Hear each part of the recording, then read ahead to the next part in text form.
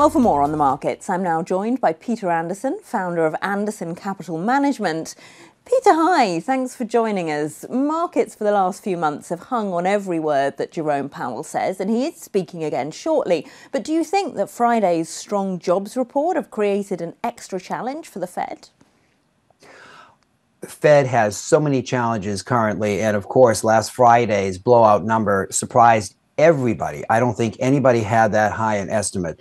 So that did set us off balance. But interestingly, the market, uh, I think, will respond more favorably once it digests the shock of that number. And I also want to add that uh, sometimes there can be statistical anomalies. So let's not place too much faith in that number. There may be revisions. We're just not certain yet. So while I was surprised by it, uh, I take it as one of many, many metrics out there that we need to focus on to get a, a sense of where we're going.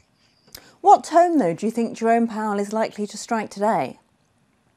It's anybody's guess, isn't it? And uh, I think he's very careful. It's almost comical now because any kind of press conference or anything he says, we have now evolved to the point where I think we might even be correcting his grammar when uh, we see these transcripts. So my guess is we won't hear anything new because let's think of it. Last Friday, I mean, there's only been several days, two trading days since then.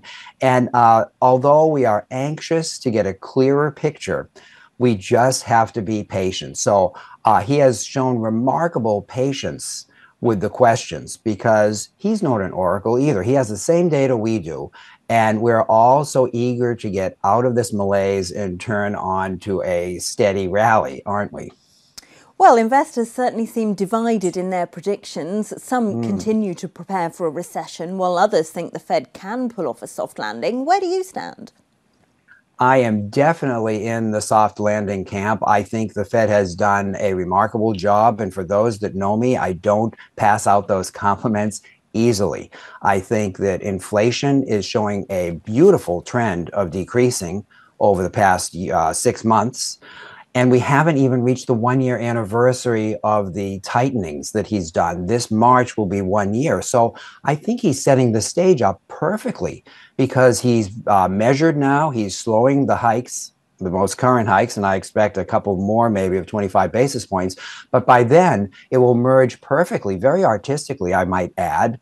Unusual to compliment a Fed in that direction, isn't it? But uh, very artistically blended with the timing of the hikes that he has done over the past year. So I am very much in the camp of a uh, soft landing, and I'm very optimistic about this year going forward.